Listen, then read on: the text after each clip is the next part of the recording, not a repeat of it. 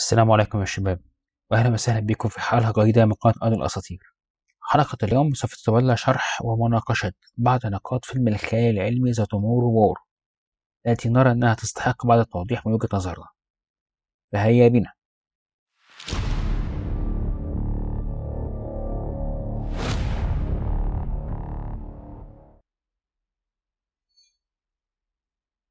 في بداية الفيلم نرى مجيء جنود من المستقبل. عبر ثقب دودي إلى عام 2022 تحديدا في مباراة كأس العالم في قطر. وهم يقولون أنهم قادمون من العام 2051 وأن الجنس البشري على وشك أن يتم إبادته بواسطة غزو فضائي من مخلوقات تدعى White Spikes. وأن هذه المخلوقات سوف تهاجم الأرض عام 2048 وسوف يقتل أغلب البشر في خلال ثلاث أعوام من تاريخ ظهورهم وهنا علينا أن نتأمل هذا الحدث في الفيلم. فهو في رأيي الحدث الرئيسي على الإطلاق. فمنذ لحظة وصول هؤلاء الجنود إلى الماضي تغير كل شيء.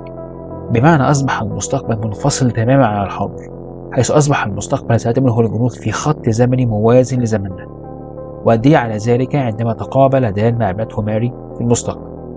أخبرته أنه عندما لم يجد وظيفة فقد الرغبة في الحياة. وفي النهاية تركهم ليلقى حتفه لاحقا عام 2030 في حادث سيارة. وهو ما نجح في تلافيه دم عاد إلى الحاضر. ونجح في عدم الاستسلام لمستقبله السيء. وصحح أموره وأنقذ مستقبل البشرية بتدمير السفينة الفضائية التي أتى عليها الغزاة. وبالتالي نجح في تغيير المستقبل وتلافي أخطائه مع عائلته وهذا يقودنا إلى نقطة تالية وهم الغزاة أنفسهم. منذ أول اشتباك معه حنرى كم هي متوحشة وقوية تلك المخلوقات. فهي قوة عمياء من القتل والتدمير المتواصل لكل ما هو حي. حتى الحيوانات لم تسلم منها. وهذا ما جعلنا نتساءل. كيف تمكنت كائنات بهذه الهمجية من صنع سفينة فضائية والمجيء عبر الفضاء؟ دون يتم اكتشافها. ثم تندفع في غزو مناظم لكوكبنا. لنكتشف في نهاية الفيلم أن سفينتهم حطمت على كوكبنا قبل ألف عام. وإنها ظلت تحت الثلوج حتى ذاب الثلج في المستقبل بسبب الاحتباس الحراري. وحيث انطلقت بعد ذلك تنتشر في الكوكب. كما اكتشفنا أيضا أن هناك مخلوقات أخرى هي من كانت تقود السفينة. إذا ما هي طبيعة هذه المخلوقات المتوحشة؟ المؤكد لنا أن هذه المخلوقات ليست إلا سلاح بيولوجي مصمم للقضاء على الحياة الحيوانية بشكل عام. فوجود مستعمرة كاملة منهم على متن السفينة ينفي تماما أرجحيتنا مجرد كائنات كان يتم نقلها وخرجت عن السيطرة.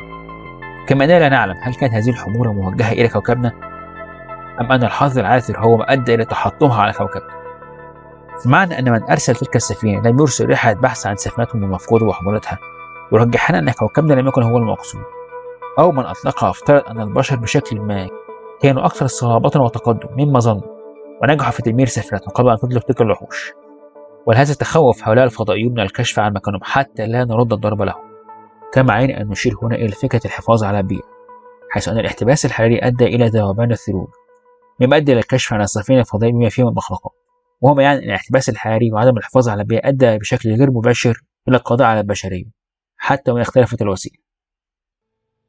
لكن هذا ليس معناه أن القصة ليست بها ثغرات بل الثغرات كثيرة وغير قابلة للإغفال على سبيل المثال فإذا كنت شخصا قادم من المستقبل وفي أمس الحاجة للمساعدة فماذا تطلب فقط جنود للتصدي لمخلوقات شبه مدرعة مثل تلك التي رأيناها في الفيلم؟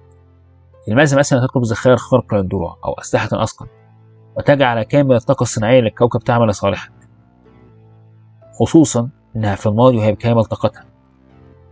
كما أنه كيف ترسل الجنود دون تدريب كافي بل حتى دون ملابس قتالية. لاحظ أنك عدت إلى الماضي ولديك كامل القوة الصناعية للعالم تحت تصرفك. بل وأدهى من ذلك أنك ترسلهم لتجعلهم يقتلوا بمنتهى الوحشية كما لو كانوا علف للمدافع وليسوا بشر. مما يجعلك تشكك في مدى كفاءة هذه القادة العسكرية القادمة من المستقبل من الأساس. والمذهل أيضا أن أي من القادة في زماننا لم ينسقون معهم في إيجاد استراتيجية أكثر ملائمة. لمواجهة تلك المخلوقات بدل تلك المذبحة غير المنتجة لأي نصر. ثم نكتشف بعد ذلك أنهم في المستقبل يطورون سما للقضاء على تلك المخلوقات وأنهم يريدون فقط كسب الوقت حتى ينجحوا في تصنيعه. الأمر إذا جعلك تقتنع أن هناك قيادتين منفصلتين دون أي تنسيق بينهم. قيادة تحاول إيجاد حل علمي للقضاء على الغزاة وأخرى تستعمل الخيارات العسكرية فقط دون أي تكامل بينهم.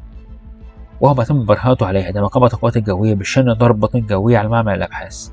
دون حتى النظر فأن هذا قد يفقدهم السلاح الوحيد الذي قد يؤمن لهم النصر على الفضائيين أما الأدهى من هذا كله فكان حقيقة أنك عدت إلى الماضي وحذرت البشرية من خطر في المستقبل. فالخيار الذكي طالما أن الأمر ميؤوس منه هكذا. أن تعطي كل معرفتك وخبراتك إلى القيادة العسكرية للعالم في الماضي لكي يقوموا بالاستعداد خصوصا أن أمامهم قرابة الثلاثين عاما قبل بداية الغزو ويعلمون أين سوف يبدأ التحديد. فضع المعلومات التي لديك بدلا من استنزاف قدرات العالم في معركة أنت تدرك أن الانتصار فيها محل شك. في النهاية تظل هذه كلها مجرد آراء ونظريات ما رأيكم؟ شاركوني برأيكم في التعليقات. في النهاية أتمنى أكون وفقت في إفادتكم. وإذا كان كذلك ادعموني ب like و share والاشتراك في القناة وتفعيل جرس التنبيهات كي تصلكم الفيديوهات أولا بأول. والسلام عليكم ورحمة الله وبركاته.